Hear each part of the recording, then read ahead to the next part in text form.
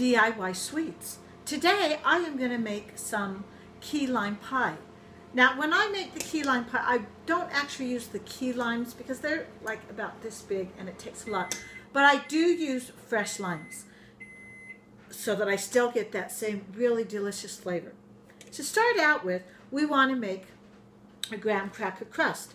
So the first thing I need to do is I need to get my graham crackers to be um, totally ground up. Usually one crust is about one package of graham crackers. So I'm going to stick two packages because I'm doing two crusts. And if I find if it's not enough, I can throw a few more in after I've measured out. Because to make one crust, I'm going to need one and two thirds cup.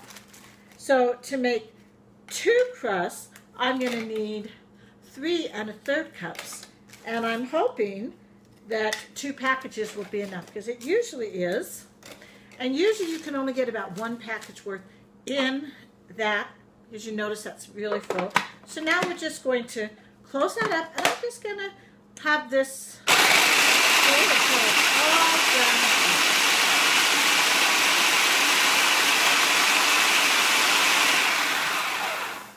As you can see, that really didn't take that long, although I'm looking at it and I can see that I might want to just kind of put some of the bigger crumbs, get them down in there and get some of the light one, and give it just another few seconds.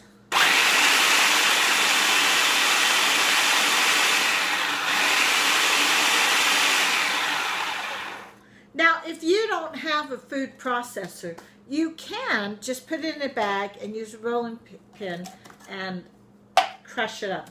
As you can see, this is much quicker, but either way will work. Now that I've got that ground, um, I'm going to start measuring out.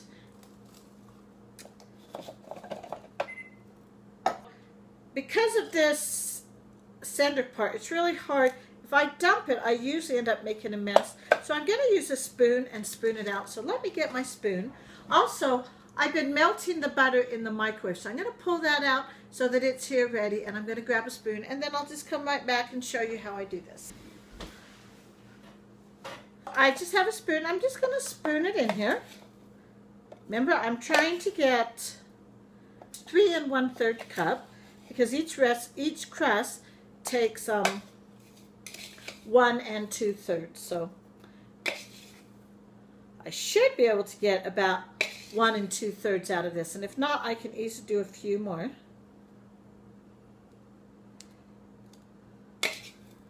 There's my first cup. Now, as soon as I get all of the graham crackers measured out and put in here, I will come back and show you what we do next. This is really a really easy recipe. So I'll be back with you as soon as I get uh, the next package ground and all of it measured. I have all of the graham cracker crumbs now ground up. So all I'm going to do now is I'm going to add the sugar and butter. But before I add the butter, I kind of want to stir to make sure the sugar and the graham cracker crumbs are evenly distributed. Once I don't really see any big streaks of white, I will know that they're evenly distributed. Now, as I said, I'm doing two pies worth, so that's why I'm mixing in this bowl. If I were just doing one recipe or one pie crumb, I usually actually mix all this in the pie tin. But because I'm doing two, I want to do it in a separate bowl and then um, spread it out equally between the two bowls. Now that I have that, I'm just going to go like this and I want to get all of the crumbs moist. So it just takes a little while of stirring. You're going to have some big chunks where it's really moist, and you just got to mix those into the dry ones because you want to have all of the crumbs moist before you move it to the pie tins.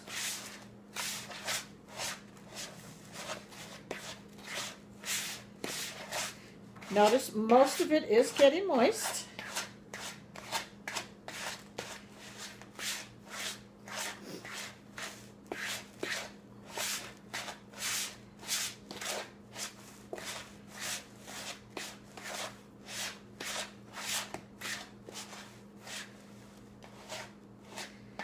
Now this pie crust does not need to be baked at all. A lot of times when they tell you to um, bake this, what they're trying to do is they're trying to get it so that it hardens up a little bit. Um, you can get it just as firm by maybe sticking it in the fridge for a few minutes so that butter hardens up. But either way, you, you do not need to bake this. So it's easiest just not to take that extra step. Okay, so now that butter is really mixed in. So what I'm going to do is I'm going to bring my two pie tins here. And I'm just going to put what looks like about half in one and half in the other. And I'm going to kind of look them at them as I pour it. And if one looks like it has too much, then I can always move it to the other. So now that I have this in, I just want to spread it around. Make sure it's kind of evenly distributed. Oh my, that looks like it may, I may end up taking some out of that one. And as you're pushing this down and firming it up, if you find this too much, you can take some out. If you find this not enough, you might need to add a little bit more. So basically, um, you can use the back of the spoon. I actually like just using my hand. And you just press this down so that the butter and the graham crackers are all mixed together and firmed. And you're just going to form a pie crust shell. And this one, there's not really a fancy edge. I mean, you can kind of put your finger here to get it an edge there. Right now, I'm kind of working more on the edge, and and you'll see as I'm working on the edge that there's some gaps there, but I'm not really worried because I can see that this pie shell over here has way too much in it. So I'm just going to bring some more over.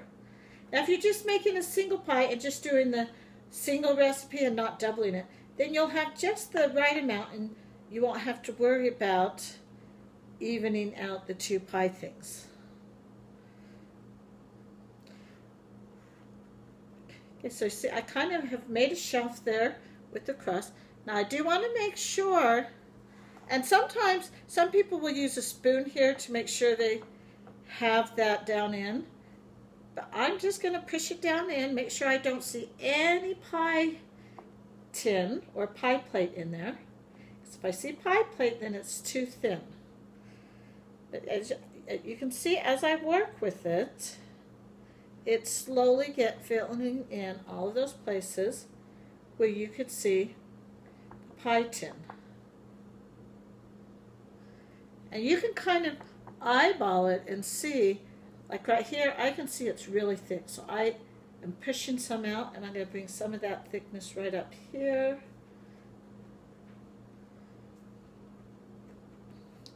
As I said, some people do like to bake it, and if you really feel like you really want to bake it, you can put it in the oven at 350 for about 10 minutes and that'll help set it up. But I find, because this is a pie that's served cold, I find I just like sticking this in the fridge so that butter can firm up.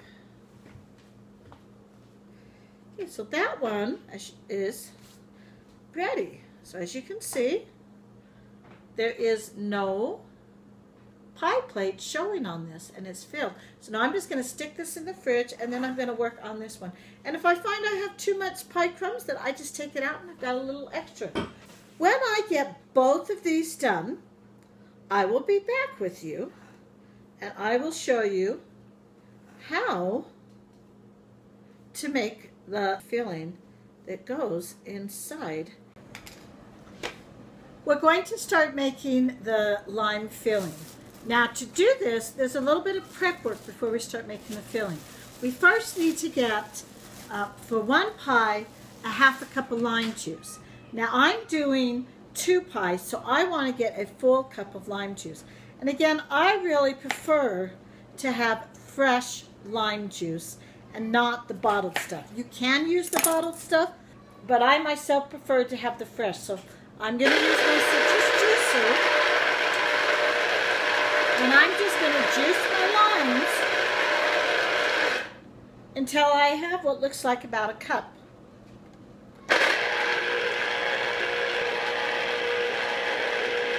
And my juicer actually has a measurement mark on it. So when it says 8 ounces, I will know that I have my cup of lime juice.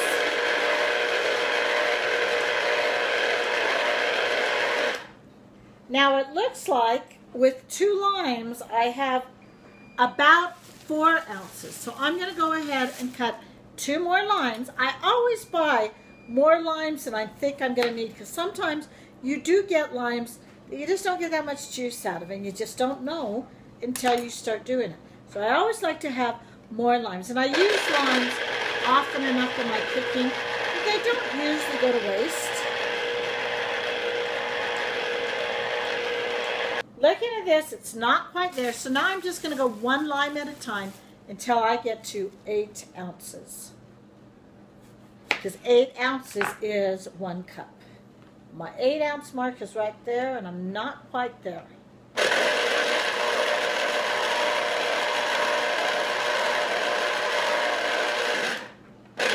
So now I have my eight ounces. The key lime pie is uh, cooked over a double boiler. And so what I'm going to do is get all my ingredients over there and then I will show you how we make the key lime or the lime pie filling. One recipe calls for three egg yolks. Um, so since I'm doing a double recipe, I would need six egg yolks. So what I need to do is I need to separate the eggs. So I have this egg separator as you can see, the yolk just fits in that little cup, and I'm able to get the whites off, and then I can just dump the yolk in there. So I need to get six of these. And so once I have all six of my yolks, and the rest of my ingredients, I will meet you over at the stove and I will show you what we do from there. I have the water in the bottom half of the double boiler and I've got the heat on high because I really want to get this actually to boiling before I put this on. So now what I'm going to do is I'm going to dump the sugar and the cornstarch into the top half of, of the double boiler. Now this is not on the heat yet. Now I want to mix it up well.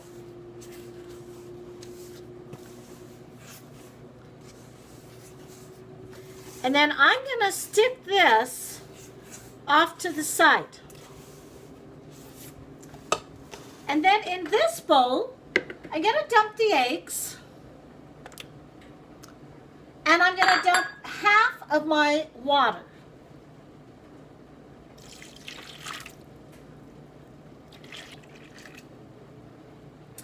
And then I'm going to whisk it.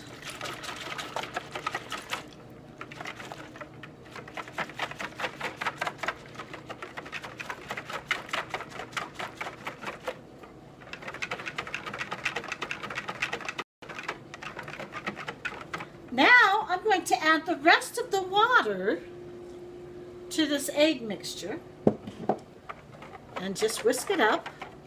And then I'm going to pour this egg mixture into the top half of our double boiler. And then I want to stir this up. I want to get that sugar and the cornstarch all mixed up and kind of dissolved into this liquid. Cornstarch really needs to be dissolved while it's cold. If you put it on the heat, if you put the liquid on the heat and then add the cornstarch, you're going to get lumps. And we don't want lumps in a key lime pie. So I'm stirring this, getting all of the sugar and the cornstarch mixed in.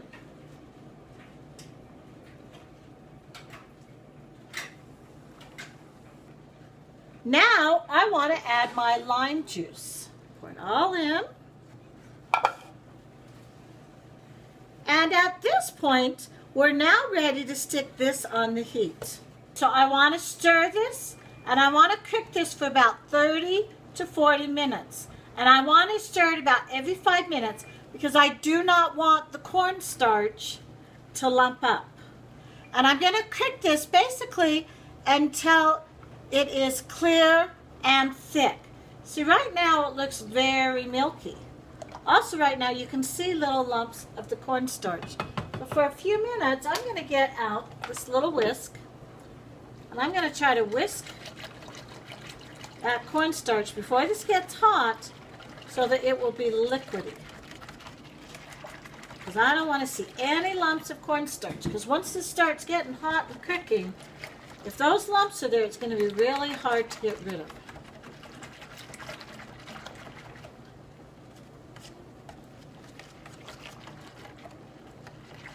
So I will get back and show you what we do after this is has thickened and cleared. Remember, I'm going to stir it every five minutes and I'm going to cook it for 30 to 40 minutes. This is, as you can see, pretty thick and it is a little bit clearer. It, it's still opaque because it's going to be opaque. Now we're going to take the butter and we're going to add it one. The butter was cut into small sections and we're just going to add it one at a time so that it can melt in there. And I've turned the heat off.